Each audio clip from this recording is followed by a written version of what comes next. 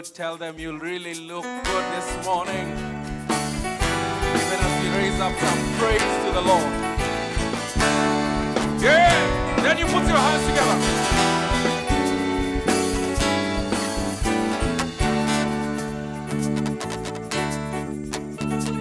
This is the day, this is the day that the Lord has made, that the Lord has made.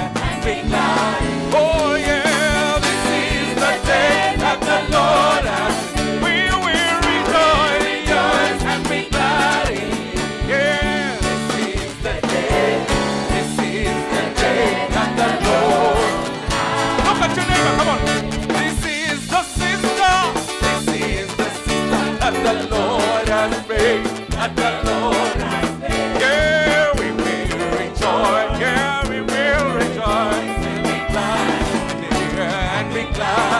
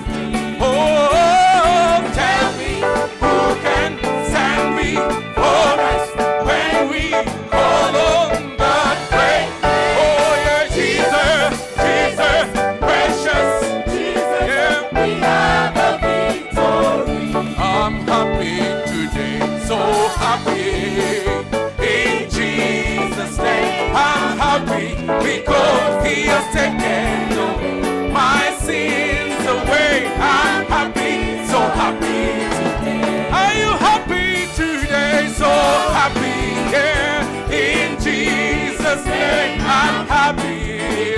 He has taken away my sins away. I'm happy, so happy today. I'm the time.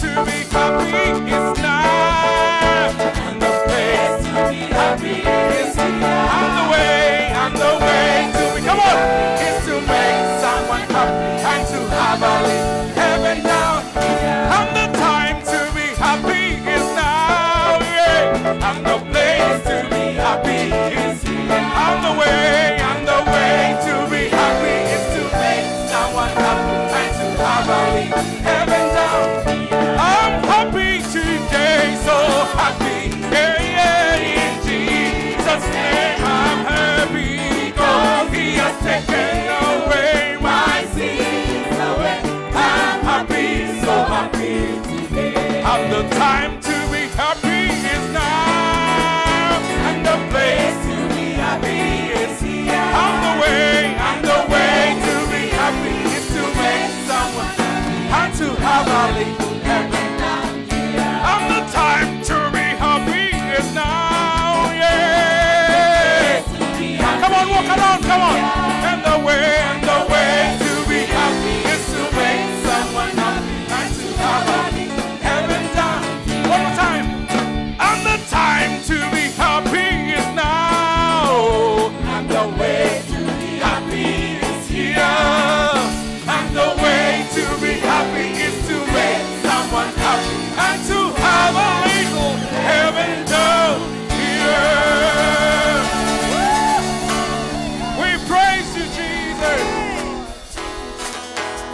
Hallelujah. Hallelujah. If we call to him, he answers us. Amen. Put your hands together. Come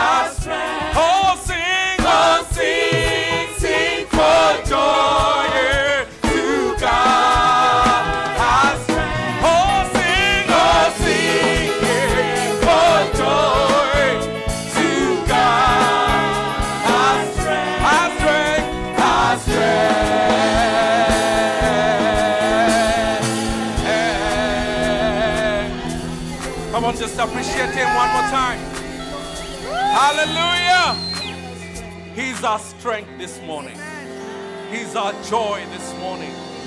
Amen. Amen. These are the days of Elijah. Come on, we want to just sing that one more time.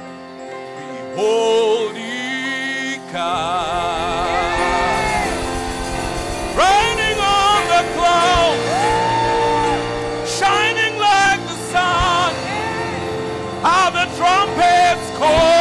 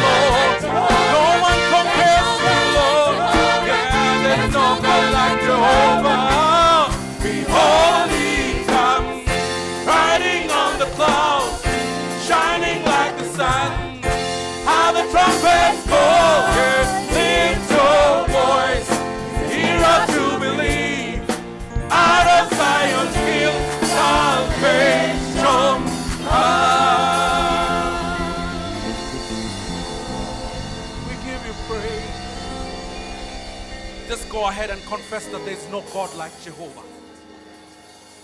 In your own voice, in your own language, in your own song.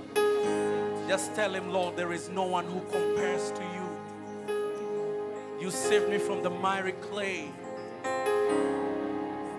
Set my feet upon the rock. And now I know. Once I was we were not a people, now we are Lord, you hemmed us in, O oh God. We choose you, Lord.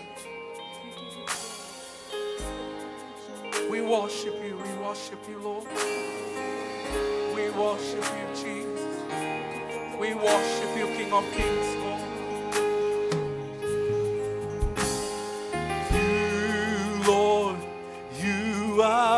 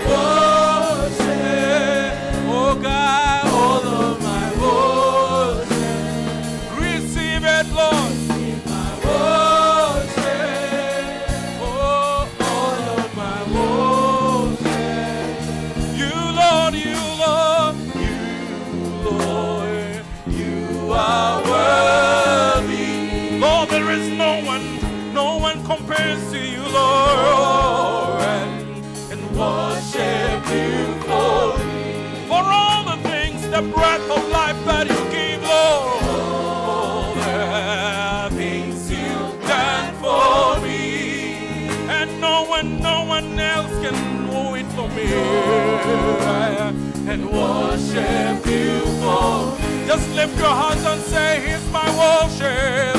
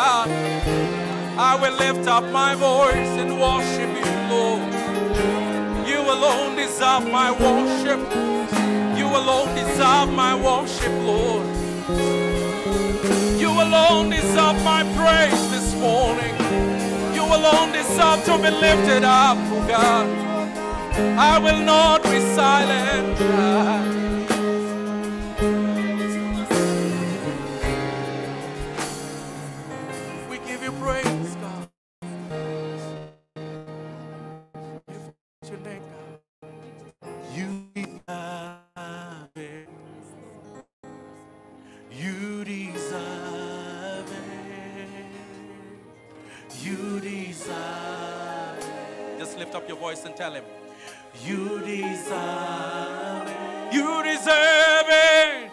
You deserve it. You alone, oh God. You deserve it. We worship you alone. You deserve it. You alone.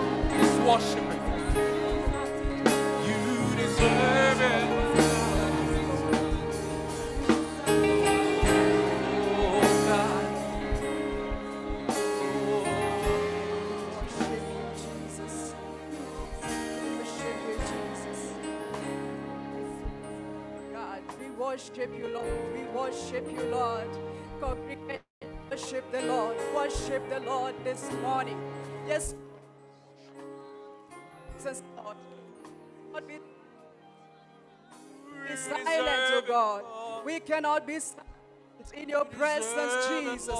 We worship your name, Jesus. We worship you this morning. We worship you, our God. We worship you. We bless name, Jesus. We bless holy name. Oh, there is none like you, Lord. There is none besides you, our God. Yes, we worship you with all our hearts. We worship you, Lord God Almighty. We oh, worship you this morning, oh dear Lord. Our hearts worship you, Lord. We tell our souls to worship you. We tell our souls to magnify you this morning. How can we be silent in the presence of a great God like you? How can we be silent in the presence of a holy God? We worship you, our God. We worship you, eternal God. We worship you this morning. We stand in awe of you, Lord. We stand in awe of you, our great God, our great deliverer, our great shepherd. How can we be silent in your presence, Lord, when you cause us to lie down in green pastures, when you cause us, oh God, to walk beside still waters? Yes, Lord, you restore our souls. You have restored our souls to trust in you again. You have restored our souls to hope in you again, to wait on you again, to magnify your holy name again, to come back to your paths. Yes, you have restored us, oh God, and therefore we worship you. We worship you, Jesus. Yes, Lord, oh God, we thank you. You cause us, oh God, to walk in paths of righteousness for your name's sake, oh God. Only you can cause us to walk in paths of righteousness. And yes, Lord, even in the valley of the shadow of death, oh God, we will fear no evil, for you are with us, oh God. Lord, your presence has preserved us, oh God. Your presence has caused us not to be destroyed. Your presence, oh God, you are with us, oh God. Even in the difficulties, even in the hard times, oh God. In that dark valley, oh God. In that shadow of death. Oh, we are preserved because you are with us. Your rod, your staff, they comfort us, oh God. Oh, we thank you, Jesus. We thank you, oh Lord. You teach us your ways, oh God. Oh, we thank you and we worship you this morning. We bless your holy name, oh God. Do not be silenced in the presence of God, church. Open your mouth and worship Him this morning. Just magnify the name of the Lord. Just magnify the name of the Lord. We are in His house to worship Him, to call Him worthy, to call Him holy, to call Him mighty. Oh God, you who watches over us, you do not sleep nor slumber.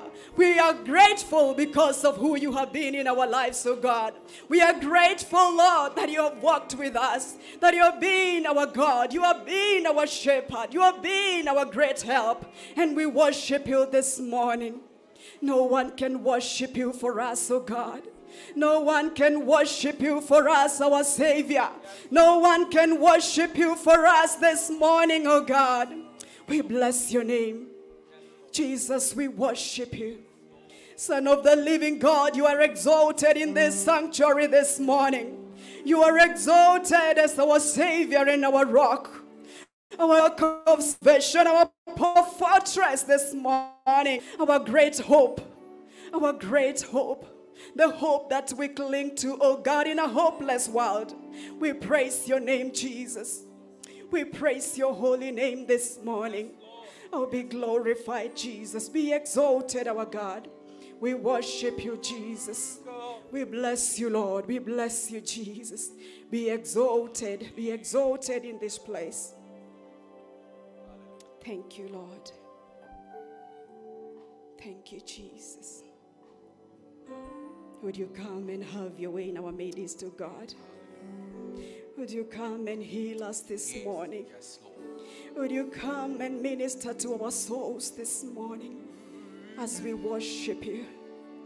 As we worship you, Jesus. We worship. Your presence, your presence, Lord. Your presence is what we crave for, oh God. Oh, God. Oh, come and have your way, Lord. Have your way. Come and have your way. Restorer, rebuilder, healer. Come and have your way. Come and minister to us. Yes, Thank you, Jesus. Elder. Hallelujah. Praise the Lord. Congregation, I just want us to be have a heart of thanksgiving. The Bible says, rejoice, and again I say rejoice in the Lord. Yesterday evening, we were in our safari group as men, and we were thanking God that you can actually coordinate your hands and your feet, that you are here this morning, that you can breathe, that you took some tea, or maybe even you did not take tea, that you can see, that you can breathe. You have the gift of salvation. We have many things to thank God for. He do not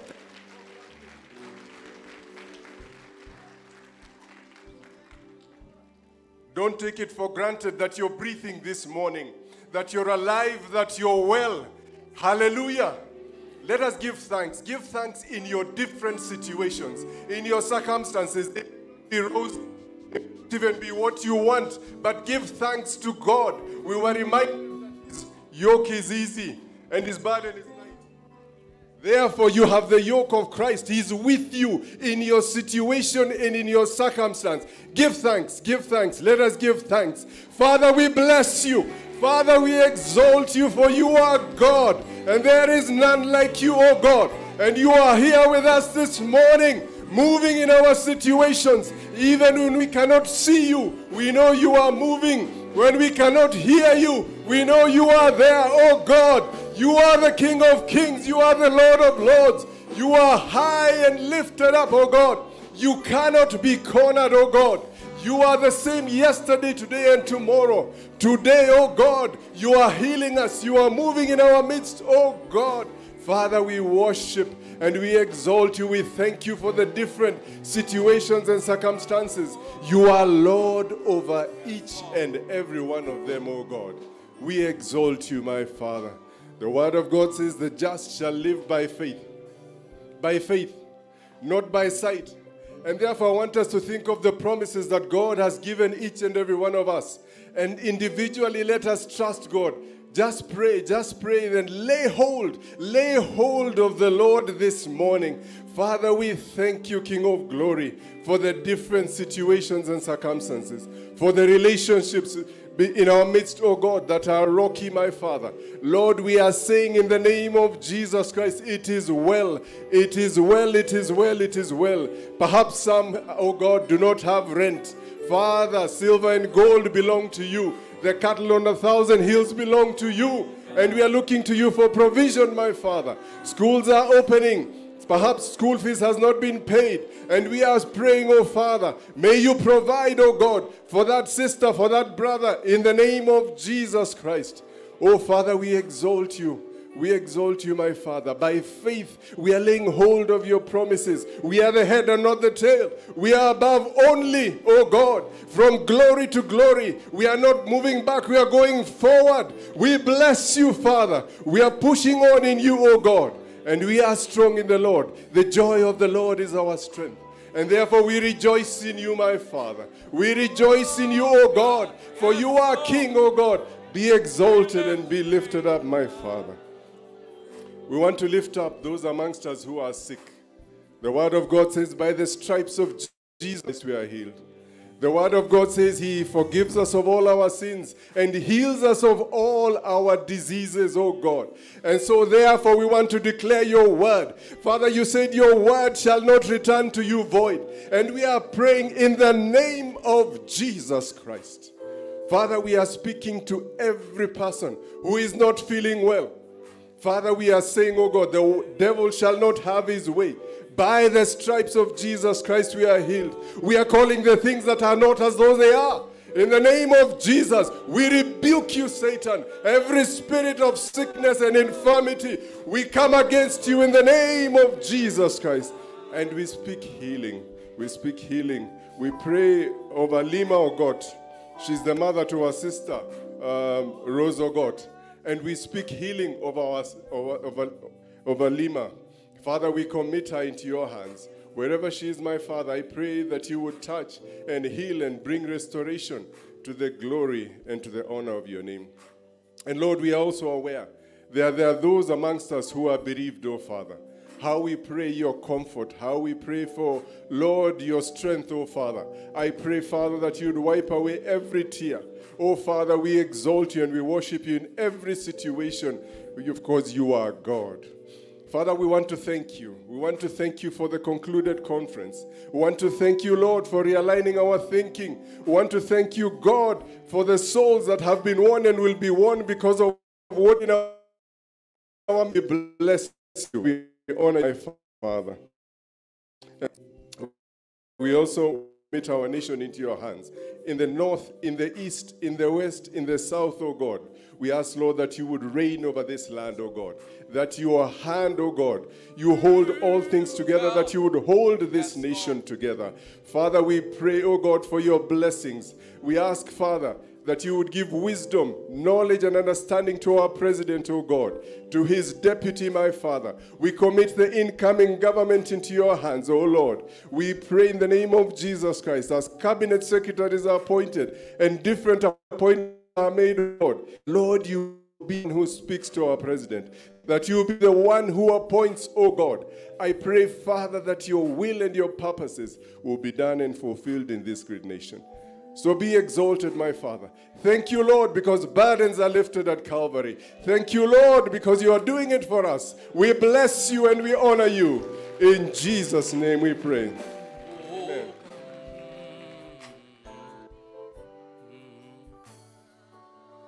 Nalita, nalita jina lako, nami niwe Just repeat that.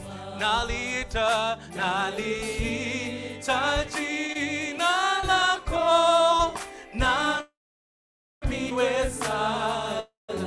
Nalita, nalita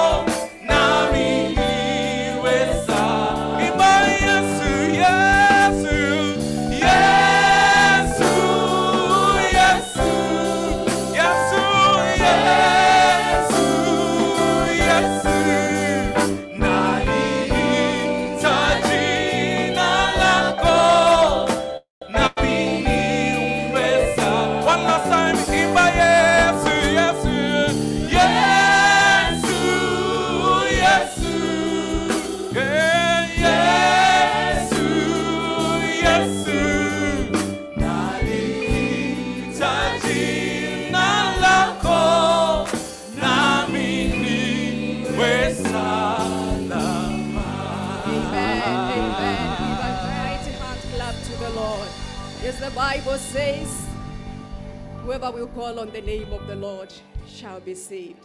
And Lord, we call upon you. And I know the Lord is doing something in every one of our lives this morning. Thank you. Thank you. May we appreciate our worship team. The Lord bless you. You have ministered to us very well. God bless you.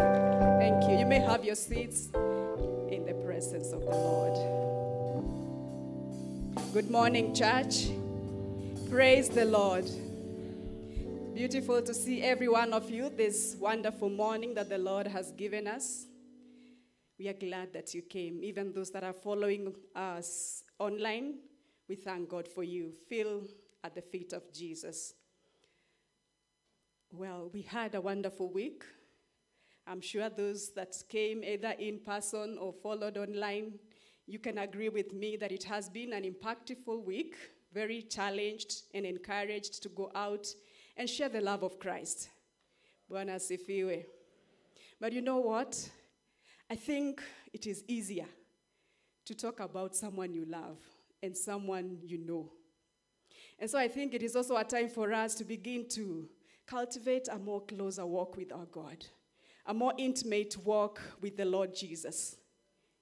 That we may love him with all our hearts, with all our souls, our minds, and strength, so that it will be easier for us to talk about him, to tell others about, uh, others about what he has done, because we have experienced the power of his resurrection. Bwana asifiwe.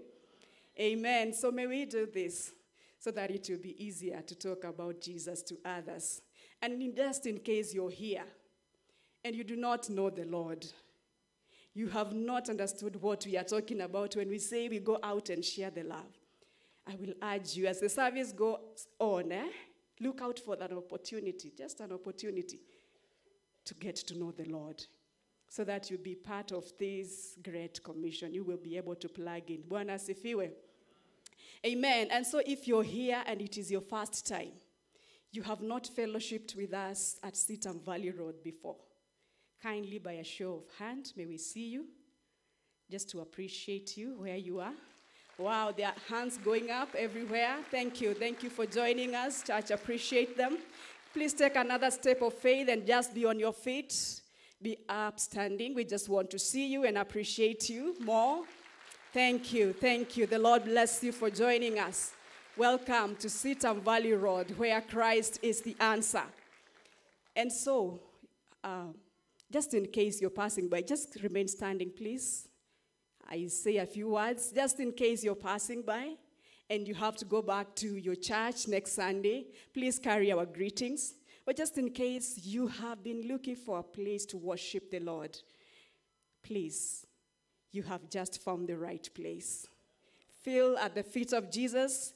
Uh, find it in your heart to join us every other Sunday just to come and fellowship with us. Karibuni sana, we love visitors. At the end of the service, don't be in a hurry to leave. We have our ladies and gentlemen in black, no, yeah, black and blue, yeah? Blue tops and just black skirts or trousers. And a bunch written welcome team. Those are our welcome team uh, people. At the end of the service, you can walk up to one of them and they will lead you to our welcome room where you will have an interactive session just to get to know us better and we, as we get to know you more. So feel welcome. You may have your seats. The Lord bless you.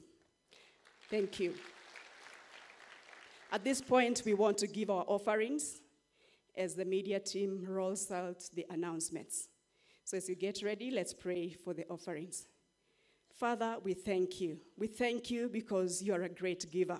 And we thank you that, Lord, you have blessed us in many ways. And even as we worship you with our giving this morning, I pray that, Lord, you will continue to release your blessings upon your people. We pray for wisdom in disbursing these funds, even as they come into the ministry. Father, we thank you and bless you, for we pray in Jesus' name.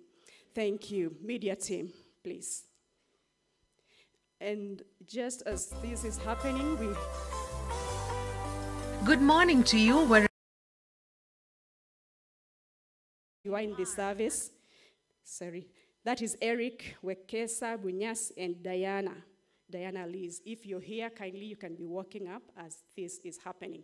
God bless very warm welcome to our fellowship today, the 25th of September. Wherever you are, a very warm welcome to our fellowship today, the 25th of September 2022. It is a great honor to have you worship with us. We appreciate your support towards God's work through your tithes and offerings here in Valley Road. To worship through giving, use the offering bags passed through by the ashes. You can also use our M-Pesa PayBill number 933939 and in the account indicate whether it is a tithe or an offering. If you wish to draw a check, please do so in favor of Christ is the Answer Ministries. You can also visit our office reception to swipe your card at the end of this service. God bless you as you give. Thank you. Family Care Ministry FACE invites all those who intend to wed from January to April 2023 to register for the next premarital class. The class will run from 8th October to 19th November. Registration will begin today at the reception desk. Do you work near church, stay near church, or just pass by church as you go to work? The prayer ministry invites you to a time of in-person prayer every morning 6 a.m. to 7:30 a.m. at Richard Bombay Hall. Please note the 4 a.m. prayers are still on every Monday and Friday. Zoom links will be shared on our various platforms. Baptism class will take place today at 11:30 a.m. at Richard Bombay Hall. Thereafter, baptism by water immersion will take place at CITAM Woodley. We announce the banns of marriage between Dan Kibet Tumbo and Trufosa Balete Kimuyu, intending to end on the 1st of October 2022, 10 a.m. at CITAM Woodley. We announce the banns of marriage between Manasseh Muo Mutisia and Catherine Wanzawa Vinya, intending to wed on the 8th of October 2022, 10 a.m. at CITAM Karen. We announce the banns of marriage between Eric Wekesa Bunyasi and Diana Liz Nyamoita, intending to wed on the 1st of October 2022, 10 a.m. at Fushia Gardens. We announce the banns of marriage between Moses Karuri and Fiderita Karimi to wed on the 13th of October 2022, 11 a.m. at Taji Gardens, Thika. We announce the banns of marriage between Julius Lawi Onyango and Patricia Akinyi Othieno to wed on 14th October 2022, 10 a.m. at CITAM Valley Road. We announce the banns of marriage between Elisha Stephen Lugalia and Praxidis Chepkemoi to wed on the 14th of October 2022, 10 a.m. at CITAM Valley Road. If anyone has a valid reason why these persons should not be lawfully wedded, kindly inform the church office in writing at least seven days before the wedding date or forever hold your peace.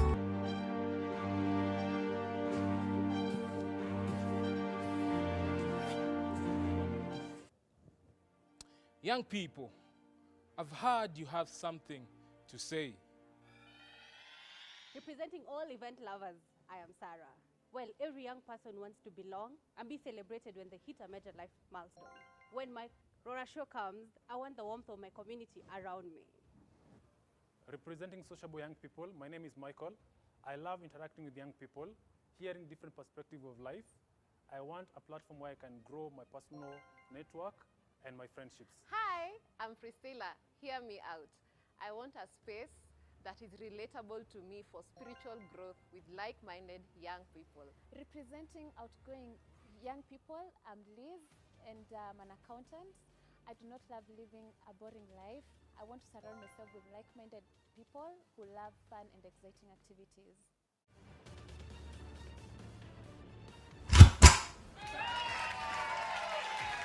It's happening. It's happening. It's happening. It's happening. It's happening! It's happening. And it's official, it's happening. The Young Professionals Fellowship, which is a community of people who are aged 25 to 34, is relaunching. Allow us to take over two hours of your calendar on the 2nd of October from 2 to 4 p.m. here at CITAM Valley Road, Dennis Whitehall, as we relaunch A group of vibrant young people. There's only one thing you need to do. Any guesses? Show up on Sunday, 2nd October from 2 p.m. Yay! It's happening! I'm going there. Don't you want to go? We are proud to bring to you the third CITAM Business Conference in partnership with Absa Bank Kenya from October 20th to the 22nd this year at CITAM Karen. There will be over 5,000 participants from Kenya, Tanzania, Rwanda, Uganda, and Ethiopia.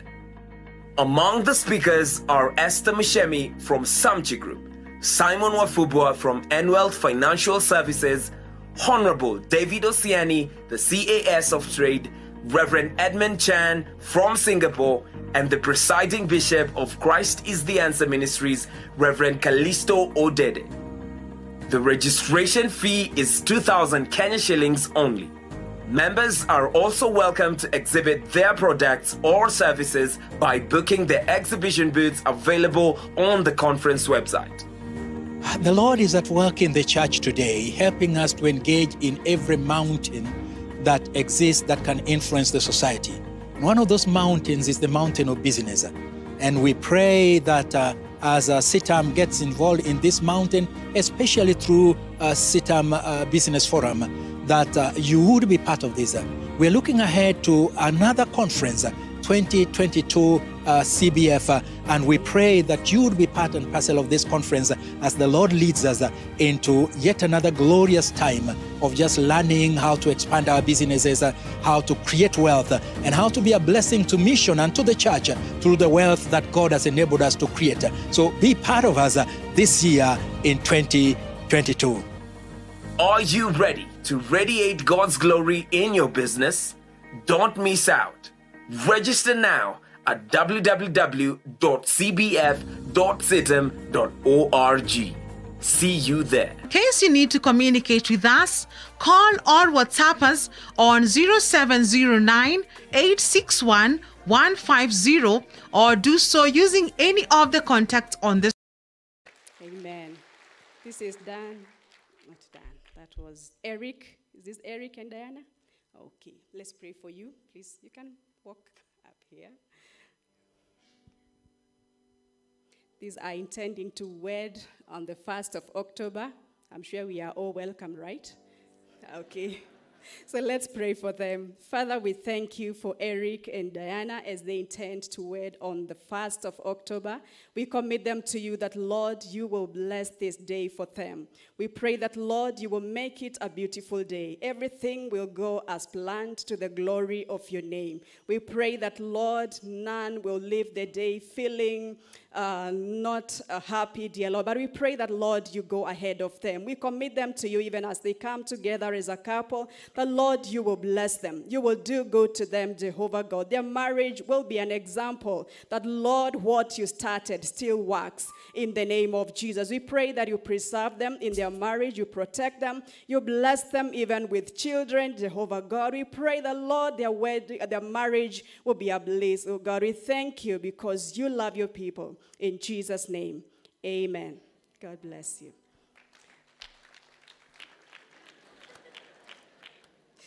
Okay, um, in a short while, we'll be hearing the word of God, and I will allow our senior pastor to come and introduce the speaker. But before then, we allow our worship team to give us a song. The Lord bless you. Amen. Amen. We are still on mission month, so we want to speak to the nations. We want them to be open so that even as we go there, we are able to speak and people listen. Amen. Hear the sound, sound of the nations calling. Hear the sound,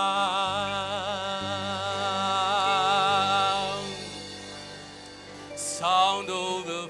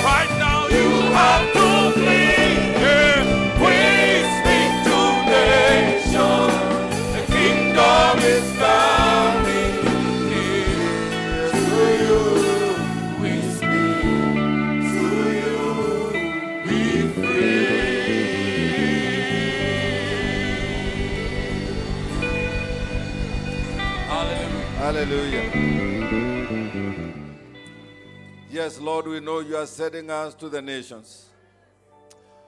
Oh Lord, we can sense it, we can feel it. You are at work. You have a mission, you have a purpose. And so, Lord, we surrender ourselves to you.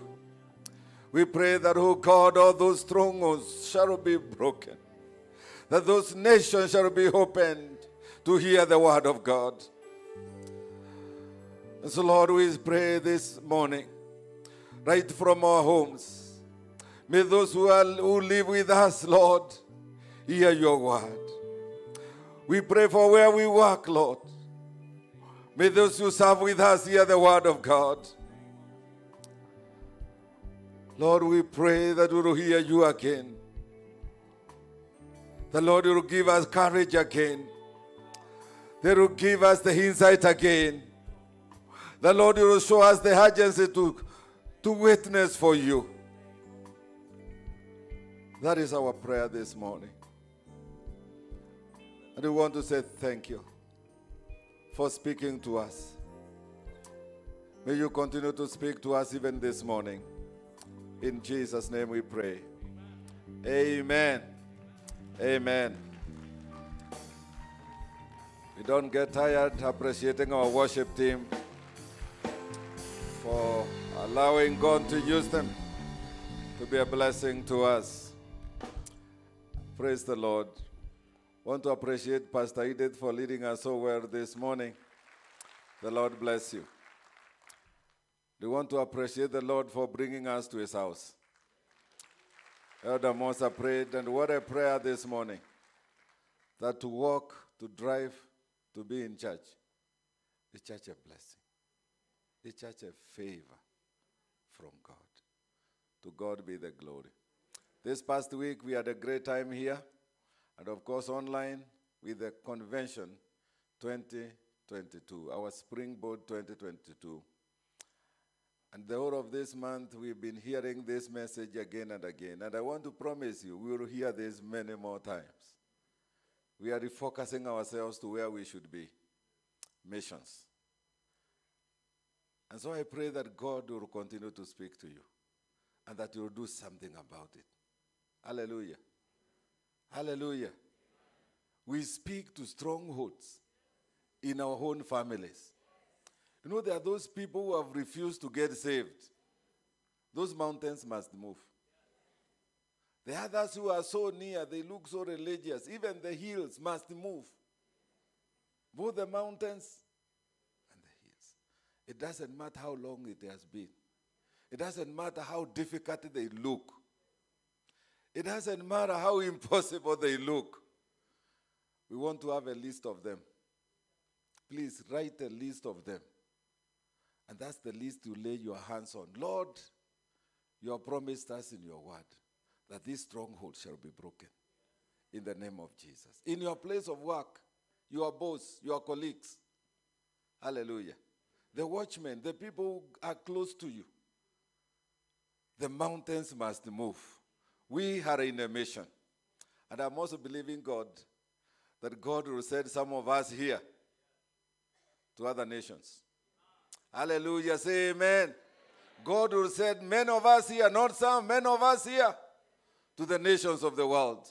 Either in the name of studies or in the name of business, whatever it is. But I believe God will open those doors. And please, when He opens, no, you're not going to those places just to make money or to have a good life.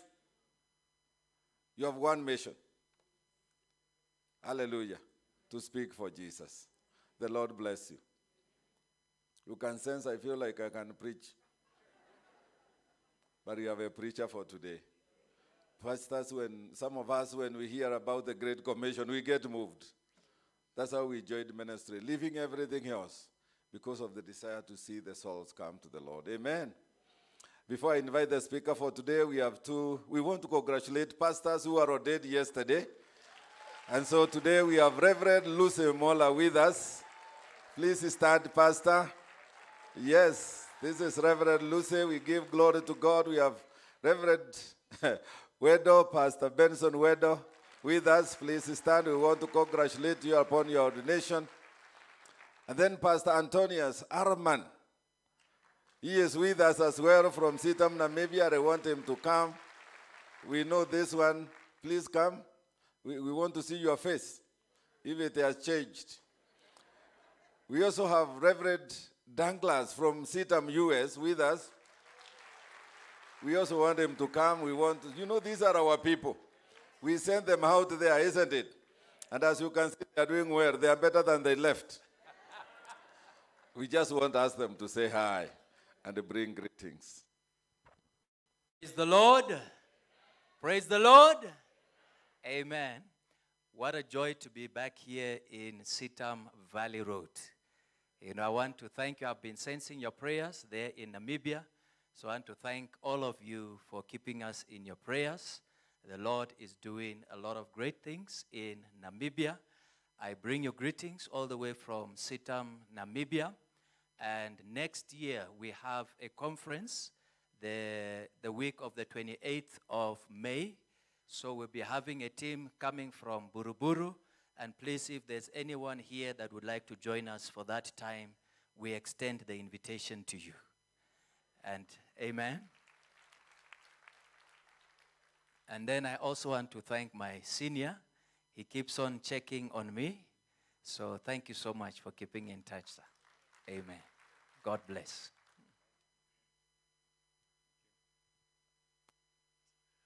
Bwana Yesu asifiwe. Amen. Habari zenu. Amen. Greetings. I'm Pastor Douglas Anderson. Greetings from CITAM, USA. Do you receive them? Amen. I also bring greetings on behalf of our senior pastor, Reverend John Bosco, his wife, Mrs. Bosco, my family. We send you our love and our greetings. Do you receive them? Amen. Amen. I just want to say thank you so much, CITAM Valley Road. Uh, this is, for me personally, my home away from home. Thank you for your love, your support, your prayers. They are much needed. There are many strongholds in the United States of America, but as we just sang, they're all coming down in Jesus' name. Amen. So thank you. We love you. Keep praying for us, and may the Lord uh, help us to keep running this race to complete the Great Commission while we still have breath. Amen. We love you. God bless you. Amen. Let's appreciate our pastors. They were, they did their, their internship here, and uh, we were with them here for several months, and we loved them. Great men of God. And their future is great. Oh, their future is great. The Lord bless you. The Lord bless you. The Lord bless you. I didn't know there is convention, a conference in Namibia. We will plan to go. Namibia is not as congested as Kenya. So there is, there is enough space. You go to the city and you love it. They are quite developed. The Lord bless you. Amen. But they need Jesus there. The Lord bless you. And the U.S., we are trusting God to take U.S. in Jesus' name. We want to hear God's. Oh, we have Reverend McKenna with us here today. Yes, yes, yes. We ask him to stand and just thank you. Former leader of CITAM Naivasha, now at CITAM head office doing SAG. Eh? Uh, thank you. Social action and advocacy is the one heading and developing that department from head office. The Lord bless you. Amen. To bring us God's one today, this month we are speaking about missions. Praise the Lord. Sichedes are older people here. These ones don't need to be recognized. We already recognize them. Amen. Thank you. God bless you. God bless you. Thank you. So this month we are working on, I mean, we are preaching on missions. We are enticing people on missions. And we just want people to move and do something for Jesus. Last Saturday we had a great preacher, isn't it? Who allowed us to see uh, Reverend Adrian Thomas, the son of uh, late Marvin Thomas, who lived here for many years. And may the Lord bless Adrian for speaking to us. I pray that you are seeing something in your family. I pray that you have begun to see something. May the Lord continue to give us sight to see. In Jesus' name. Now, to bring us God's words today is Professor Dionysius Kihika uh, Kiambi, uh, our former deacon from Karen, and uh, he is currently the DVC Academic Affairs at uh, our university. You know, we have a university, PAC University.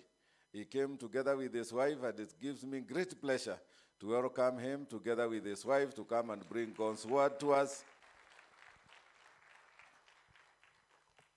Amen. Let's, let's appreciate him until he reaches here. Thank you very much. Shall we pray for him? Father, we are in your presence this morning, and we know you do not gather your people in vain. We know you have a word for each one of us, and that we are prepared, Professor, uh, this morning to speak to us. Lord, give him utterance. Let the anointing of the Holy Spirit be so real in his life that you enjoy bringing this message to us.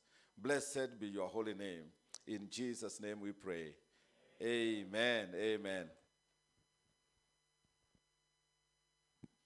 Let me remove my mask. During the COVID season days, I realized that uh, the mouth and the nose are very unique identifiers. And you may fail to recognize someone just because of the mask. so you can now recognize me as I speak to you this morning. Good morning, church, and praise the Lord.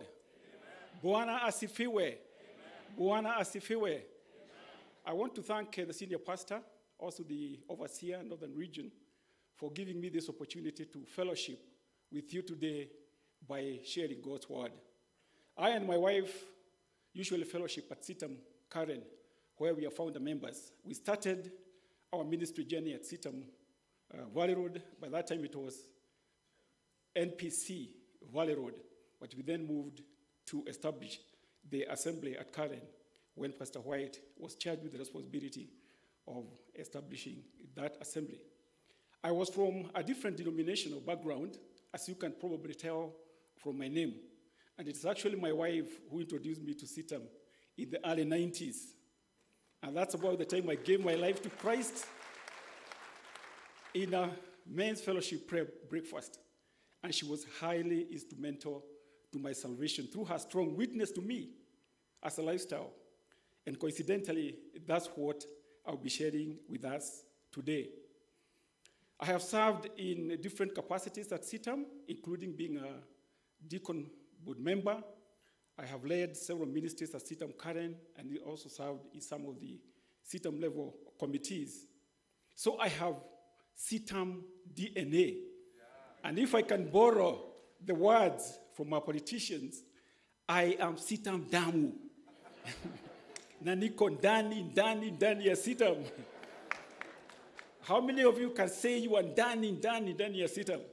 Yeah, I can see.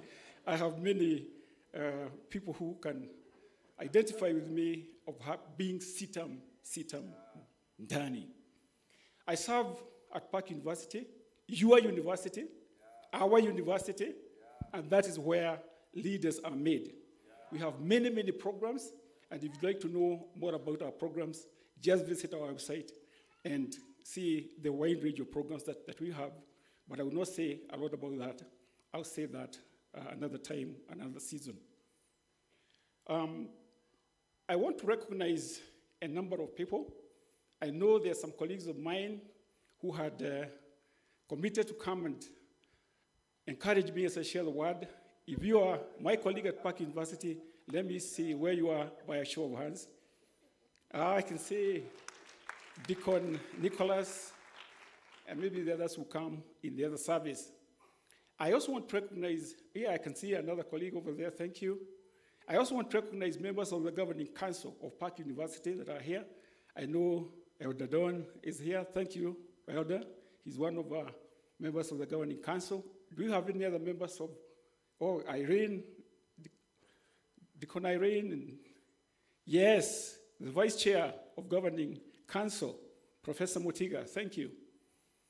And I also want to recognize any current students or alumni or people that are teaching for us as full-time faculty or even adjuncts. Any PAC University students, alumni, oh, I can see. Reverend Shitende, yeah. We have many, many um, of us that um, associated with PAC as alumni. At this point, let me introduce my wife, who will ask to greet you and read the scripture that I'll be sharing from. She is my wife of 35 years. Young people and singles, there is hope. Marriages still work if you put them at the center of God. And between us, we have a married daughter and two grandsons. She's my friend, she's my prayer partner, and she's the one who gives me positive critical feedback. Sometimes she rebukes me when I need some rebuking. I appreciate her. She has been a, a very great encourager in my journey in life. Praise the Lord and good morning, church. I've been called uh, his wife. I have a name. yes, she does. Thank you. Uh, my name is Charity Kihika. I am born again. I love the Lord Jesus Christ as my personal savior. Like, uh, I'll call him my brother because we are in church. like my brother has said, he is a dear friend of mine, um, my friend from my youth. And uh, I thank God for giving us an opportunity to be able to stand here. This is holy ground. This is the altar, the place that uh, is set apart for God to be worshipped. And so for me, it is a privilege. I'm not ordained, I'm a layperson, but I thank God for using even us, uh, ordinary people, to reach out for his people. Like he said, it is in CITAM Valley Road. I started coming to this church in 1983 as almost, I think, 16, 17 years, and I made it my church. And the rest is history. Um, you want me to read? Yes, read, read the scripture. I stand to be advised. Um, Please read the scripture for us. That's what we had agreed. Uh, thank Unless you. you want to change your mind, but please don't. No, I, I, I want the people of God to see that I'm an obedient wife. so I must seek permission. Uh, our reading this morning comes from the book of First Peter. Um, First Peter chapter 1 and verse 9. But you are a chosen people, a royal priesthood, a holy nation, God's special possession, that you may declare the praises of him who called you out of darkness into his marvelous light. The Lord bless you. Amen. That's the reading um, of the word, and God bless you. Thank you. Thank you. Let's appreciate her as she sits down.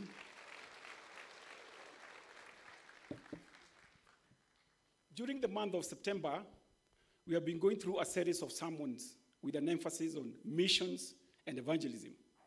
The first sermon under this series was on Therefore Go by Reverend Mugambi, and I believe and I hope that uh, the message is still clear and alive in your minds. And the second sermon was on the urgency of the gospel by Adrian Thomas. And today, we shall continue with the series, and my sermon is entitled Witnessing as a Lifestyle. Witnessing as a Lifestyle.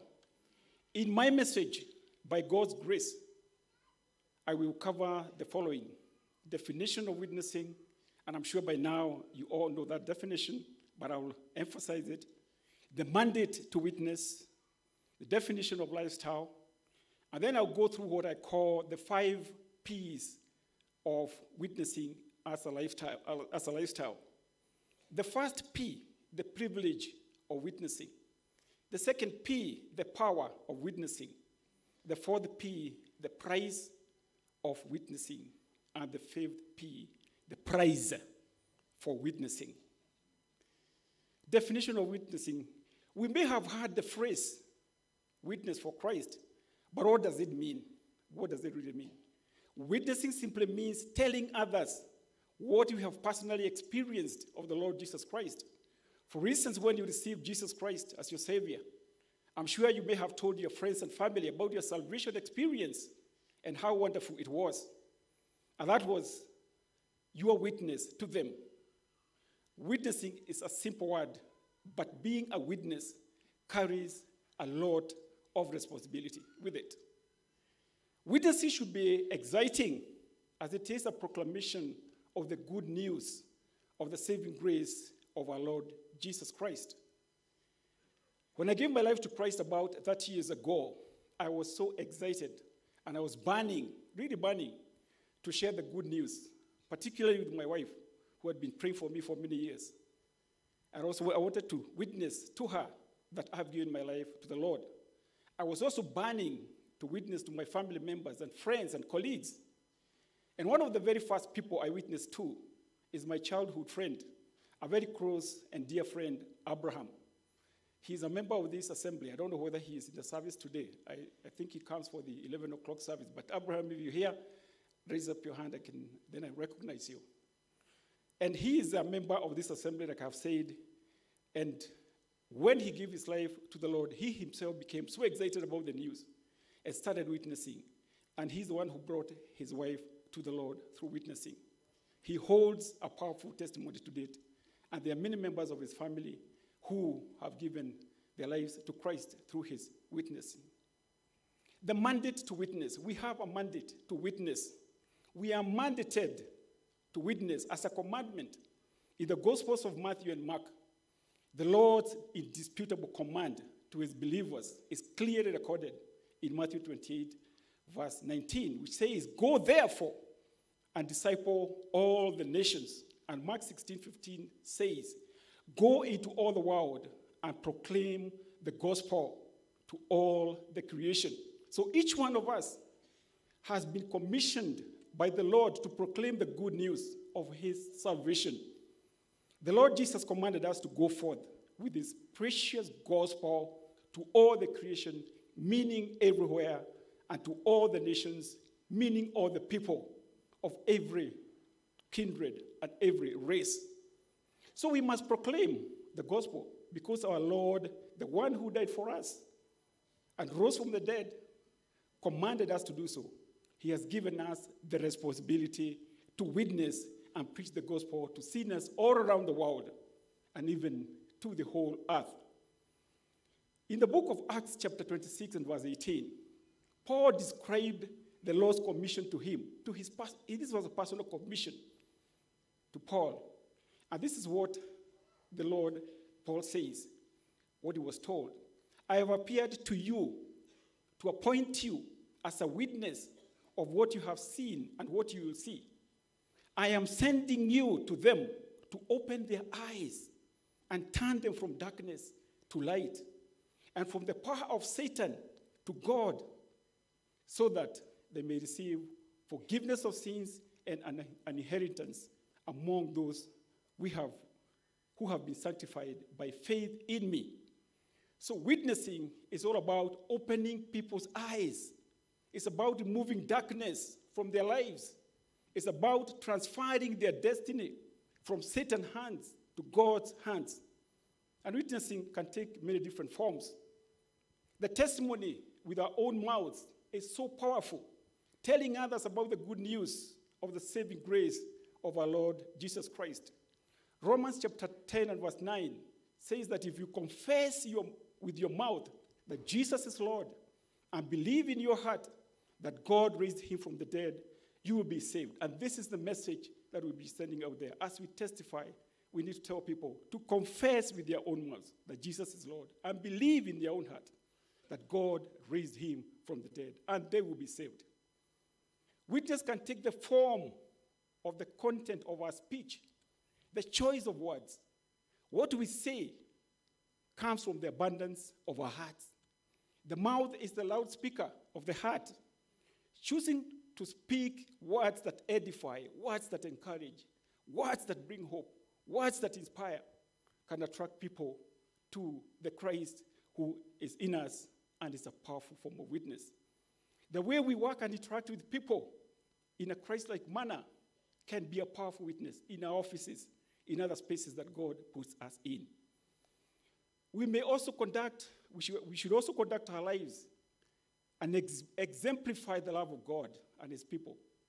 Godliness and, and integrity can also be a very powerful witness. The way we relate with people, the way we lead our personal lives, can form a very, very powerful witness to unbelievers, and we can bring them to saving grace of our Lord Jesus Christ by the way we lead our lives, by the way we treat them, by the way we handle them. It can also take the form of sharing or distributing written material of the good news, Bibles, the four spiritual laws. And I've seen many people come to Christ through a ministry that I'm involved in, the ministry of Gideons. And once you witness to someone, you give them a Bible, you go and read it and grow. So there are many different forms of witnessing, and I will not give a lot more details. Time will not allow me to do so. When you speak to people about Jesus and they receive him as their savior, they are turned from darkness to light and from the authority of Satan to the authority of God. They receive forgiveness of their sins and obtain a rich spiritual inheritance. More captives of Satan are released, and Satan's kingdom suffers loss. We need to populate the kingdom of God and depopulate the kingdom of Satan through a lifestyle of witnessing. Amen? That's our mandate. Let's populate the kingdom of God. Let's depopulate the kingdom of Satan by a lifestyle of witnessing. Witnessing and soul winning is like rescuing a drowning person in a river or a swimming pool. This person is headed for death. But if you rescue them, you save them from dying. Some time ago, I took my family for a holiday in one of the holiday destinations in Kenya. And one of those of the days that uh, we were out there, we decided to go for swimming. I'm a fairly good swimmer myself. My wife is not so good at swimming. Sikukuanika. So we started our swimming escapade on the shallow end. And since I was a better swimmer, I obviously overtook her and I went far ahead of her. But just before I got to the end of the deep end, I had like a voice shouting, like the voice of my wife. And I looked back and I saw a hand disappearing deep into the water. And I knew my wife was dying. So I swam quickly back and dived and then, you know, saved her from drowning.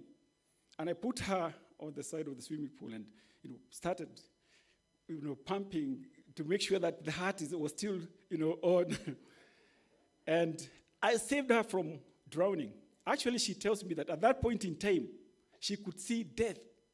You know, she could see the reality of death. She had even given up because she was shouting, but nobody was paying attention because there were kids shouting, everybody was having a lot of excitement. So her shouting was being drowned by other voices. But I thank God, since then, she has been able to restore her confidence, and once in a while, she agrees to go swimming with me. Definition of lifestyle lifestyle is the consistent, integrated way of life of an individual as typified by his or her manner, character, atti- attributes, attitudes, possessions, and values. It's a personal brand. It's what you are known for. And we are called to exemplify a brand of witnessing for the Lord. Witnessing as a lifestyle therefore becomes a manner of life that is integrated in all aspects of our lives. Remember what Jesus said to his disciples during dinner at Zacchaeus home in Luke chapter 19, verse 10. For the Son of Man came to seek and to save what was lost. In fact, on his resurrection night, he said to them, As the Father has sent me, I am sending you. He was transferring his way of life into their hands and to their hearts so that they can adopt his lifestyle of witnessing. The task of witnessing that was begun by Jesus was carried on by his disciples and is also now in our hands. It was transferred from Jesus, from, from Jesus to the disciples and from the, the disciples to us. So, spiritually speaking, Paul suggests that the task is a part of our spiritual DNA. He says, Father, in 2 Corinthians chapter 5, verse 18, all this is from God, who reconciled us to himself through Christ and gave us the ministry of reconciliation. From the scripture that we have read, we have heard that we are priests, and the work of priests is to reconcile men to God. God reconciled us to himself through Christ, and he gave us the same ministry of reconciling people to him. In other words, we have been reconciled to God, and in that new life, we now call others to be reconciled to God.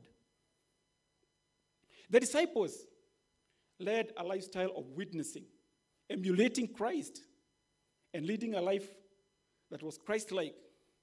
And this lifestyle was very, very evident in their lives.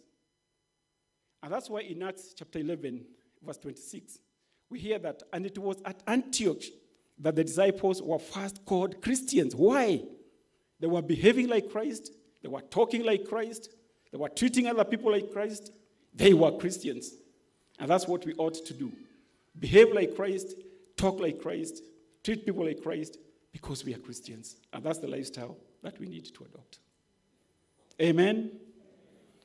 Let me come to the five P's of witnessing as a lifestyle. The first P is the privilege of witnessing. The privilege of witnessing.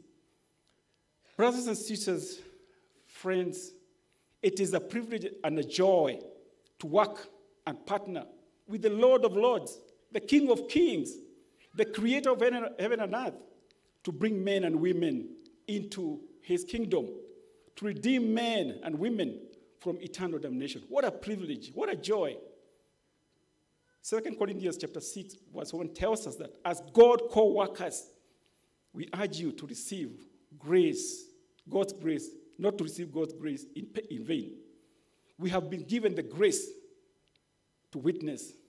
We have been given the grace to co-work with the Lord and bring men and women into his kingdom. What a joy, what a privilege that the King of Kings can call us to partner with him in this noble ministry. It's a privilege to reconcile people to God. He brings people into our lives orbits so that we can share our faith with him, with them. There are many people that God brings our way in many different situations and circumstances. And we have that privilege of reconciling the people that God brings into our circles with God. 2 Corinthians chapter 5, verse 19, we are told that God was reconciling the world to himself in Christ, and he was committed to us, and he has committed to us the message of reconciliation. Notice the sense of the action. God reconciling the world to himself at its best, witnessing is simply cooperating with God who is already attending to the person he brings into our presence. He only wants to use you and me as instruments. But are we available? Are we ready? Shouldn't we embrace that privilege? Yes, we should. And thirdly, it's a privilege to participate in the work of changing people's eternal destiny. Spiritually resurrecting the dead into life, we have got an opportunity to change people's destiny to bring a turnaround in their lives spiritually. They're headed for hell. But because of our witnesses, we can change that direction so that they can head to heaven. Amen? What a privilege. What an opportunity. The second P is the power of witnessing. We have the power, and the source of that power is God Himself. God has given us the power. We have the power to lead a lifestyle of witnessing. Jesus told his disciples in Acts chapter 1, verse 8, verse 8 But you, you will receive power when the Holy Spirit has come upon you, and you shall be my witnesses both in Jerusalem, in all, and in all Judea and Samaria, and even to the uttermost parts of the earth. A lifestyle of witnessing is not by power, it's not by might, but by the Spirit of the Lord. Total dependence on God to bring spiritual transformation in their lives by the power of the Holy Spirit. After Jesus ascended into heaven, and before the day of the Pentecost, the disciples were all scattered. And we all know that Peter and James went back to the lifestyle that they knew best fishing. They went back to fishing. That's what they knew best. But after the Pentecost experience, the disciples were filled with the Holy Spirit and went witnessing and spreading the gospel with power and authority. And in Acts chapter 2, verse 40, 41, we see how Peter witnessed to a crowd, and 3,000 people were convicted and converted to Christianity. So Peter changed from a lifestyle of fishing to a lifestyle of witnessing because of the power of the Holy Spirit. Amen? In Ephesians chapter 3 and verse 20, the Word of God tells us that God is able to do exceedingly, abundantly, above what we may expect or even imagine. But I like the other part of that verse. According to the power that worketh in, there's a power that worketh in us. And we can activate that power in lifestyle, in the lifestyle of witnessing and bring men and women into the kingdom of God. But it takes effort to ignite that power. I equate it to a dynamite, you know. A dynamite can do wonders, but it cannot bring down stones or a building like this one if it is not ignited. You have to light a fire, and then there's a string. The fire goes burning, burning until it gets to the dynamite and then explodes. Unless you ignite dynamite, it will never explode. It has power, but it has to be ignited. We have the power, and we need to ignite that power of lifestyle, adopting a lifestyle of witnessing, and bring many people into the kingdom of God. And that's why we sing. We've got the power. Don't we say that? Sing that. In the name of Jesus. Can we sing that? We've got the power in the name of Jesus. We've got the power in the name of the Lord. Yes, we have got the power, but what are we doing with that power? We can use that power to witness to people and bring them to the saving grace of our Lord Jesus Christ. The other type of, of power is the power of words. In Proverbs chapter 18 and verse 21, the word of God tells us that life and death are in the power of the tongue. When you witness or testify to an unbeliever and the person gives his life or her life to Christ, you have literally brought life into that person's into that person. The person is saved from eternal damnation or hellfire. God gives us many opportunities to witness about the saving grace of our Lord Jesus Christ in all duty stations of life. And as we go about our normal businesses, God presents many opportunities if we are sensitive to the leading of the Holy Spirit. When we are leading a lifestyle of witness, we become very sensitive to the Holy Spirit and we are able to see the opportunities God is providing for us to witness.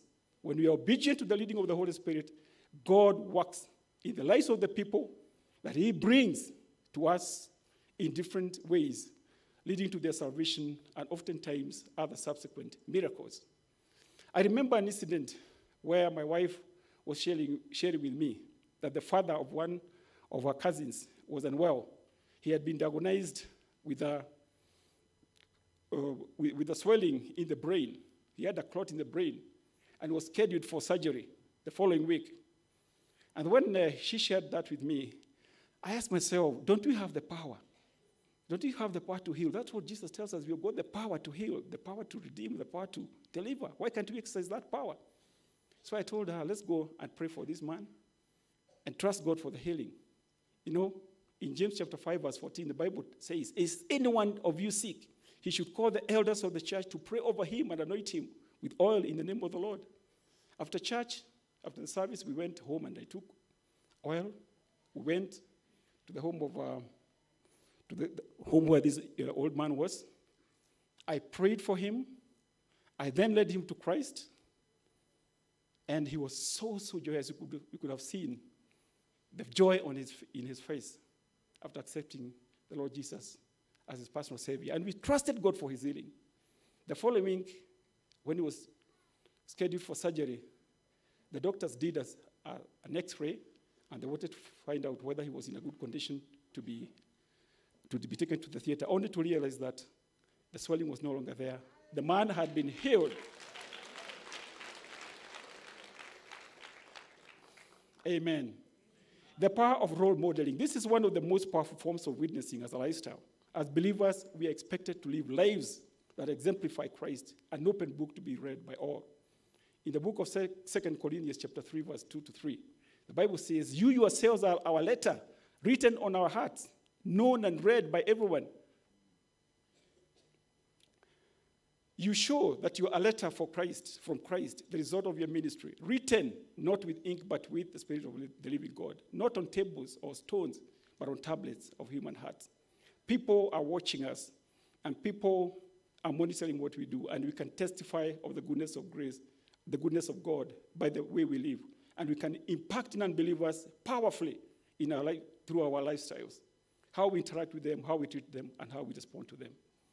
In Matthew chapter 5, verse 16, the Bible says, In the same way, let your light so shine before men that you may see, that they may see your good deeds and glorify your Father in heaven. I can say my time is moving quickly, but I want to give this very short story that um, illustrates what I'm saying. Several years ago, when I was working for another institution, a young man came to me and he told me, he asked me whether I could supervise his master's program. And I said, well, yes, because I like developing people. So I interacted with this man for about a year, helping him in many different ways, even in his personal issues. Then one day, he called me and told me, Dr. Kiambi, there's something I want to tell you. Last night, I gave my life to the Lord. And the most important reason why I gave my life to the Lord is the way you have treated me. I know you are Christian. You have never told me, but I know you are Christian, and it's because of you that I give my life to the Lord. And I felt so humbled. The way we live, the way we interact with people can bring uh, them to the saving grace of the Lord Jesus Christ. The third P, the potential of the opportunities of witnessing. The potential for reaching the world is very, very great. And with the advent of technology, we can potentially reach the whole world with witnessing through our social media, YouTube channels, WhatsApp status and profile messages, Twitter, Instagram. The world is now potentially our platform for witnessing. But most all permanently on social media, sending all kinds of things, but not witnessing. And as I talk to you, I'm talking to myself. There, there's room for improvement, even my, in my life, in terms of using social media for witnessing. I can only imagine the kind of spiritual transformation we would have if we all spent even a quarter of the time that we spend on social media witnessing using the same uh, platforms. There's potential to reach our neighborhoods. We all belong to neighborhoods, and there's a great potential and opportunities for witnessing in our neighborhoods. Many years ago, we were having keshas and fellowships in our home. And one time we had a, a and we were praising the Lord, praying, and, and all that. At 2 o'clock, I had a knock at the door. And I knew, oh my God, they have called the police on us. And I went and opened the door, you know, shaking and, you know, not, expect, not knowing what to expect. And lo and behold, it was a neighbor, um, our immediate neighbor. She said, Can you allow me to come in and say something? And I thought she was coming to rebuke us.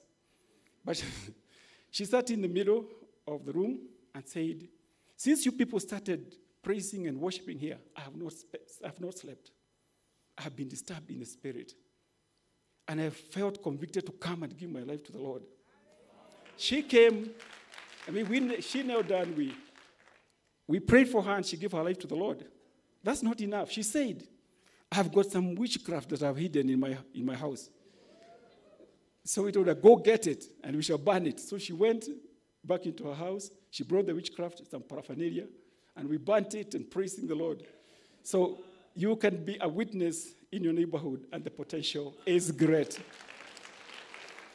potential in the marketplace, uh, we have talked about that. There are all kinds of spaces and opportunities to bring people into salvation, into salvation in our neighborhoods. And I've got many examples that I can give in my own personal life, but in the interest of time, I'll not give these uh, uh, examples.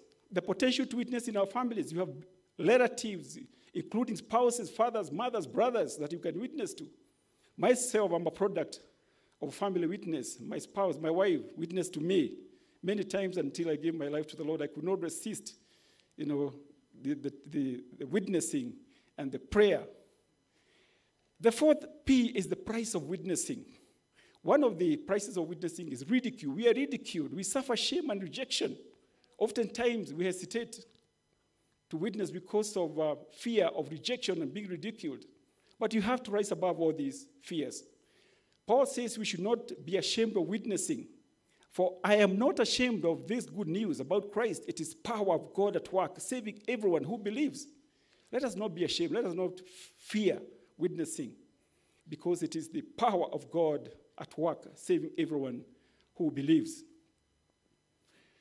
Luke says, Luke chapter 9, verse 26 says that if anyone is ashamed of me and my words, the Son of Man will be ashamed of him when he comes in his glory and in the glory of the Father. So if you're ashamed of witnessing, the Lord himself will be ashamed of you at the day of, of reckoning. Witnessing has a price and a sacrifice. It takes time, it takes effort, it requires psychological and emotional and spiritual effort, but we have to do it. There's no other way. Witnessing sometimes bears the price of personal threat and risk. Stephen, the first martyr, was stoned to death for testifying, and you can read the account of the death of uh, Stephen in Acts chapter 7, verse 54 to 60. We also know of Paul's own suffering for the Savior, as extensively documented in Corinthians chapter, in 2 Corinthians chapter 11. The church history tells us that of the 11 disciples of Jesus, only John did not die a martyr's death. Clearly, being a witness for Jesus has the potential to be very costly and indeed, indeed. But even then, we have to lead a lifestyle of witness, witnessing. And you can read very many accounts of um, Christian martyrs from a website called The Voice of Martyrs at www.persecution.com. There are many documentaries of believers who have sacrificed their lives knowingly as a consequence of a lifestyle of witnessing. A story is told of Katrina, a young believer who lived a lifestyle of witnessing and was working as a nurse in Mulago Hospital in Uganda. In the early 60s, there was an outbreak of plague in a small town in West Nile, and patients brought into the small hospital were dying by the hundreds. When she heard about this, she asked to be transferred to that hospital and witness to those infected before they died. She was warned that the disease was lethal and fatalities were very high, but she insisted on going. And she went and witnessed to many patients, and many died having accepted Jesus Christ as their personal Savior. Eventually, she herself contracted the disease and died. She paid the ultimate price of witnessing as a lifestyle. Finally, the fifth P, the price of witnessing. One of the greatest prices of witnessing is the rejoicing that you see in people who have been delivered from hell. The joy of seeing people shedding tears of joy and their hope restored. I once led a 92 year old lady to the Lord in one of the homes, old people's homes in, in, in UK. And after I had led her to the Lord, tears were, of joy were rolling down her cheeks. And she was saying, Oh, where have you been all these years? Who has, I have never been told all these years and nobody has ever told me. And tears of joy were rolling down her cheeks. The second praise is the joy of multiplication of those we witness to. When you witness to people, they in turn witness to others, and there's a multiplication. And potentially, you can bring very, very many people to the Lord. And the third and the final prize is the reward for, faith, for faithfulness. Stephen had a standing ovation when he was dying. He looked up and saw Jesus standing up from standing up beside the throne of grace. And all records in the Bible talk about Jesus being seated at the throne of God. But this time round, he was giving him a standing ovation. God is no man's debtor. He will reward you and me for a life of witnessing, for bringing men and women into his kingdom through the witnessing, and for obedience in heeding the commandment to share the gospel. In Corinthians chapter 15, verse 58, the Bible tells us, Therefore, my dear brothers and sisters, sisters, stand firm. Let nothing move you. Always give yourselves fully to the work of the Lord because you know that your labor in the Lord is not in vain. As we witness for the Lord, He's no man's debtor. He will recompense us, He will pay us according to our faithfulness. The person who hears the gospel bears the responsibility for responding in faith, while the person who shares the gospel, that is me and you, bears the responsibility for communicating with faithfulness. The results of our witness is God's responsibility, and we just need to trust Him. We only need to trust Him by the power of the Holy Spirit in the lives of those we witness to. In Isaiah chapter 55 and verse 11, the Bible says, So my word that proceeds from my mouth will not return to me empty, but it will accomplish what I please, and it, and it will prosper where I send it. Ours is to say for what God has put in us the work of saving, the work of bringing, the work of spiritual transformation belongs to the Lord. In conclusion, number one, we have defined witnessing as simply telling others what you have personally experienced of the Lord Jesus Christ. Number two, we have seen that the mandate to witness is a commandment, and we have been commissioned by the Lord to proclaim the good news of his salvation. We have also seen that witnessing as a lifestyle is a manner of life, and this should be integrated in all aspects of our lives. We have also covered the five P's of witnessing as a lifestyle. The first P, the privilege of witnessing. The second P, the power of witnessing. The third P, the potential of witnessing. The fourth P, the price of witnessing. And the fifth P, the prize for witnessing. To call, the call to witnessing is a lifestyle, and it begins with acknowledgement of Jesus Christ as your Savior. You cannot start a lifestyle of witnessing if you do not know the Lord as your personal Savior, because you can't give what you don't have. It all begins with you, dedicating yourself to God. If you have not been leading a life of, of lifestyle, even if you're born again Christian, we trust God that from today you'll adopt that lifestyle. I've got many areas of improving myself, and I'm trusting God to move a notch higher in leading a lifestyle of witnessing. May the Lord bless you and keep you. Thank you.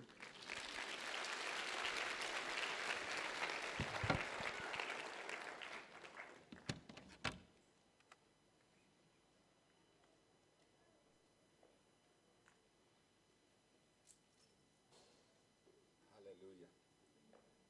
Hallelujah. Praise the Lord.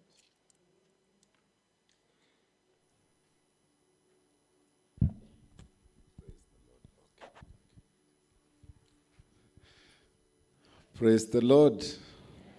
Let's appreciate Professor Kihika once again. Wow. Wow. I don't know what you are hearing God saying to you. But this is a time of reflection, personal reflection. This is a season where we need to evaluate our own lives and ask ourselves, what am I living for? What, how do people know me? My relatives, where I work? How do I handle the opportunities that God brings my way? I pray that God will help all of us to know that the opportunities He gives us to travel, to work with people, as Professor says, bringing people our way is not just for our benefit.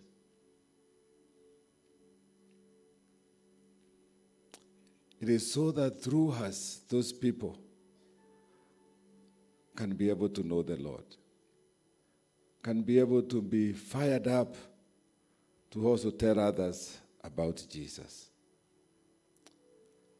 Please, I want us to know that is the purpose for our being alive. That is the purpose why God has given us the jobs He has given us, good health.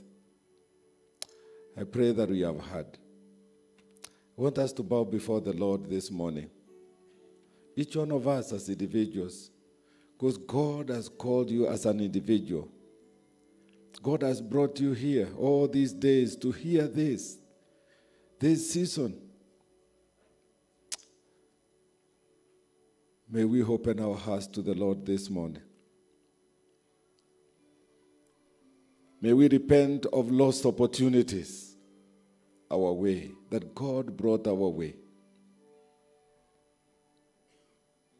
Where we mixed up things, not knowing why God has brought this person our way, these situations our way, Let's ask the Lord to forgive us. And let us commit this morning, Lord, open my eyes, make me sensitive. Make me sensitive to the situations, to the people that you allow me to interact with on a day to day basis, in the marketplace, at home, all those opportunities. Hallelujah. And as we bow down, reflecting on our lives, you may be here or you're listening, you're watching online, and you don't know Jesus as your personal Savior. That's where it all begins. I want to ask you this morning as we bow down before the Lord in His presence to give your life to Jesus. You are here, you don't know Jesus as your personal Savior, and you want to give your life to Jesus. Please raise up your hand and we will pray together with you this morning. Anyone who would want to receive Jesus, this is an important call. This is a great call to us. Anyone who would want to receive Jesus as their personal Savior, you can raise up your hand and we will pray together with you.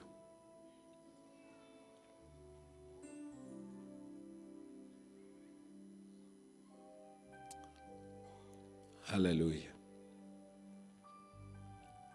Hallelujah.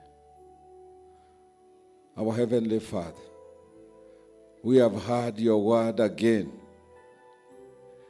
We want to ask you in the name of Jesus. The Lord, our lives will be defined by our desire to tell others about you. Lord, that we will speak about it, we will live it. We will see the urgency of us, oh God, rescuing people from internal death. May that be so real in our hearts. Oh God, our Father, give us the courage, give us the words, give us the us, Lord, give us the intentionality that we need. Oh God, this is our prayer. That our relatives will go to heaven because of us. That our friends, our colleagues will go to heaven because of us. Oh God, that is the cry of our hearts. We thank you for speaking to us. We pray that we may continue to speak to us and to guide us in your way and in your purpose. Thank you for using Professor this morning to speak to us. May you bless him and refresh him. Bless his family, O Lord. We pray that you bless his work at PAC, that through him, the many young people who stream into that college, that university, will know you as their personal Savior. The Lord, as they design programs, these will not just be programs to make people have jobs. There will be programs that will be transformative for the kingdom of God.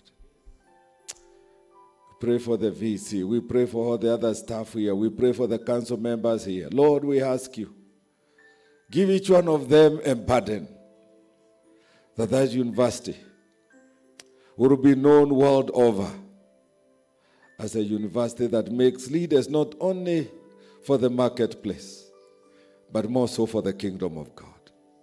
That they go to marketplace, that the graduates will go to marketplace with a testimony, with the sole purpose of transforming lives for the kingdom of God. That is the cry of our hearts.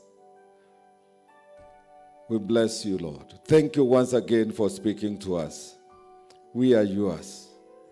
Do as it pleases you. As we go into the week, Lord, we ask that you will shine your light upon us, that you will clear the mountains for us. The Lord, this week we will count up many people who will give their lives to Jesus. May our children receive Jesus this week. May our parents receive Jesus this week.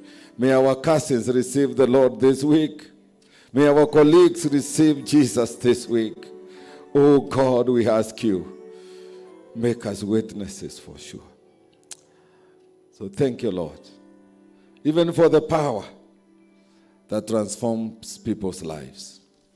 In Jesus' name we pray. Amen. Amen. Amen. Amen. To God be the glory. Please let's obey the Lord. We may be ashamed. That is okay. People may think we are not very intelligent. That is okay. But let's speak out for Jesus. Let's speak out for Jesus. Hallelujah. May the Lord us creative on this evangelism thing.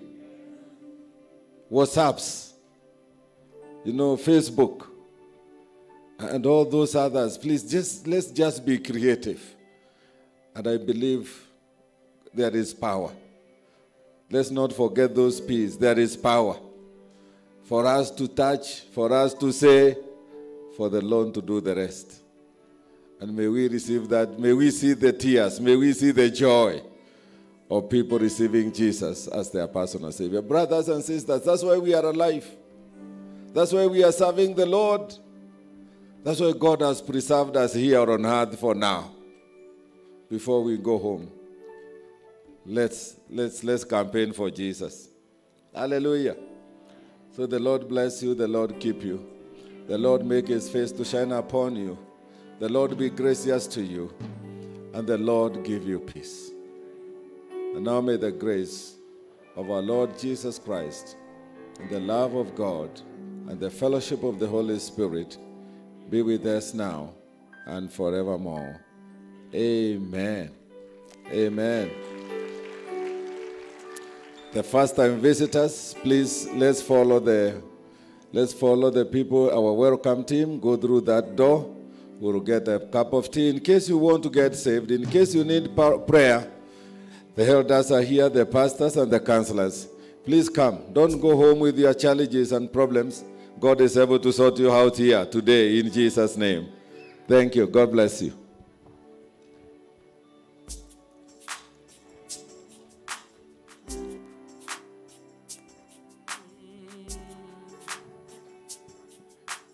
We speak to nations, be open. We speak to nations, you have to please. We speak to nations, the kingdom is coming near to you.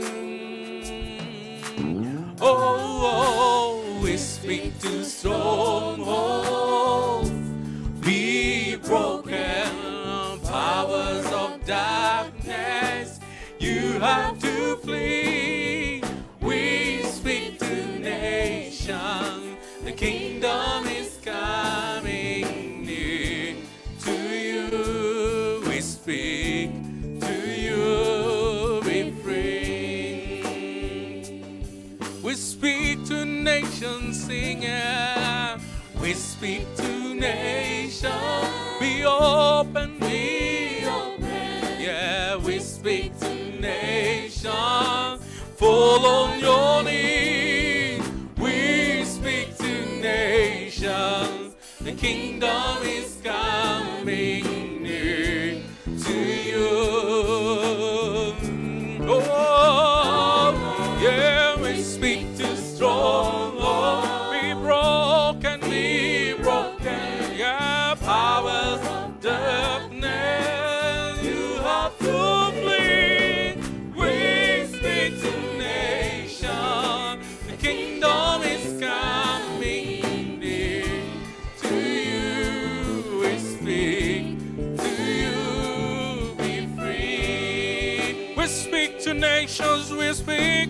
nations, yeah.